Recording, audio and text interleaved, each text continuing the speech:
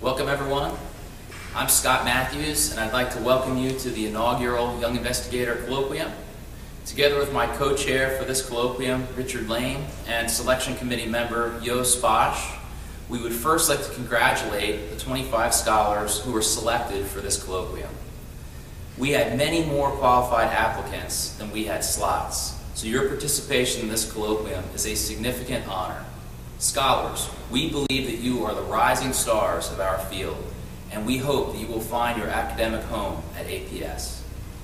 We would also like to thank the mentors who generously carved out time from their busy schedules to review your proposals, attend the colloquium, and lead the small groups. Many more experienced investigators volunteered to be mentors for this colloquium than we had slots for, which is a testimony to how much our organization values mentorship. It was only after selecting the young investigators that we selected the mentors to provide the best possible fit to the interests of the young investigators. We think that we have all the ingredients in place to have a great day. One of the things that makes APS great is its rich history. Hundreds of distinguished scientists have contributed to making APS the leading society dedicated to the integration of biological, psychological, and social factors in medicine.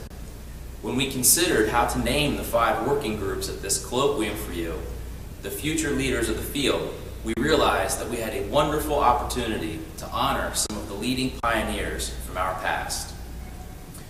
Helen Flanders Dunbar was a professor of physiology at Harvard in the 1920s through 1940s who developed the concept of homeostasis and coined the term the fight or flight response. Helen Flanders Dunbar was a physician scientist at Columbia University who launched our field with the publication of a book titled Emotions and Bodily Changes in 1935. She was the first editor of our journal Psychosomatic Medicine from 1939 through 1947. Walter Cannon was a professor of physiology at Harvard in the 1920s through 1940s who developed the concept of homeostasis and coined the term the fight or flight response. He was a pioneer in including the brain when considering how peripheral physiological systems were regulated.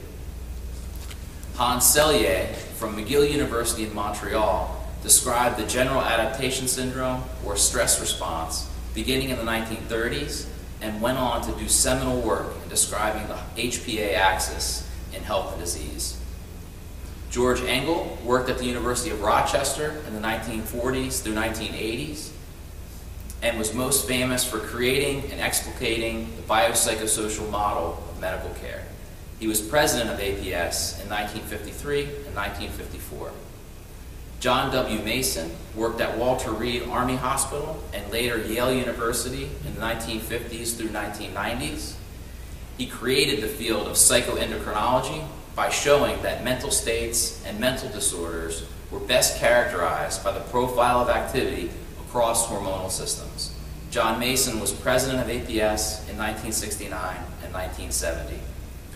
We hope that you are inspired by the work of these founders as you chart the future path of discovery in our field. Next, I'd like to review today's schedule. First, we will have the privilege of hearing a keynote address from Dr. Margaret Chesney, after which the breakout sessions will begin. From 9 to 10.30, three scholars in each small group will present their research for 30 minutes each. This will be followed by a 15-minute break.